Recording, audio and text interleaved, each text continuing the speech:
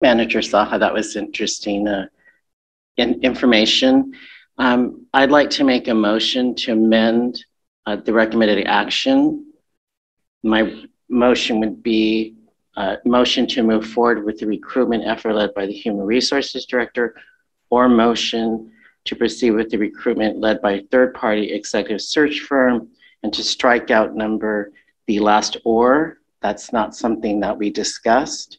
Um, so I would ask that we adhere to our original discussion. I have no idea what that means and who we negotiate contract terms with. We don't have a candidate, so um, that concerns me that that was put in there as an option. The session for transparency should be either we choose one or two as the direction to the state council. I think it could be construed as um, not being transparent to have something there that we didn't publicly discuss. The agreement we had at the last council meeting was to have the recommendation be one or the either. Is, is warranted. I, I feel like we have a very fine candidate working on staff currently who I have great confidence in. I've been working with Kris Swanson for three years and I speak now. I respectfully disagree and I think it's I think that, that we should not go with the recruitment process. Well, I'd like to speak now. I respectfully disagree, and I think it's very premature for us to even Point of order. a discussion regarding Comments, candidates. comments are to be directed to the mayor. Madam Mayor, I'm concerned that we're having a discussion about any candidates when we haven't even had a discussion on the selection process. I am not opposed to not opposed to any internal candidate being considered.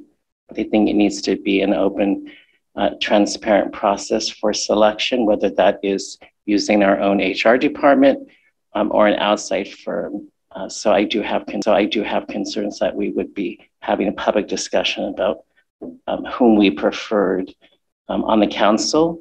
100% agree. It is premature to uh, go with the third option or consider the third option. A motion. I'd like to make a motion to appoint Kris Swanson, city manager, effective March 1st, 2023, subject to final council approval contract terms.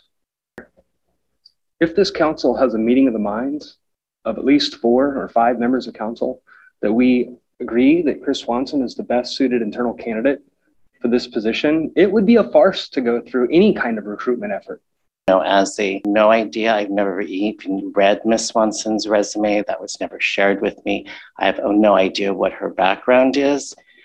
For executive session under RCW 4230 section G to discuss the qualifications of employment, I think we should recess to executive session for 20 minutes. Okay.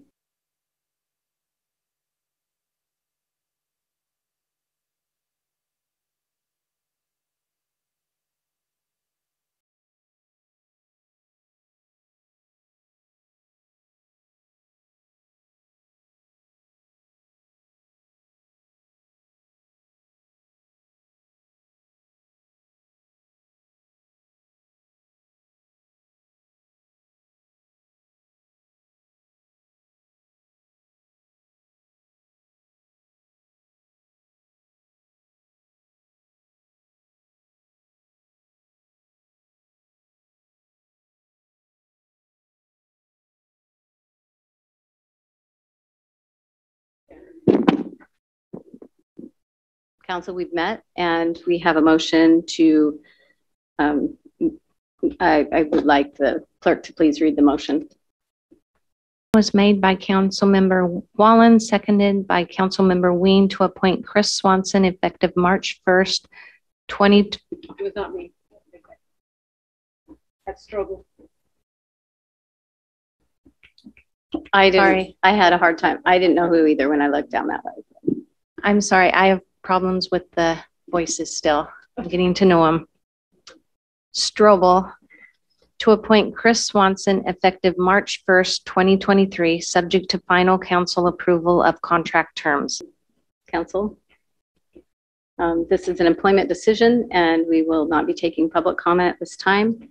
Before we call the vote, um, I will be voting no because I believe this should be a public hiring process with community involvement. This is the second highest paid uh, staff position in government in the entire county and the most important job in the city government, and I believe the most important job in all of our county government entities. So Um, you're, you're doing the roll call vote? Councilmember Boudreaux, no, Councilmember Kendall. Aye.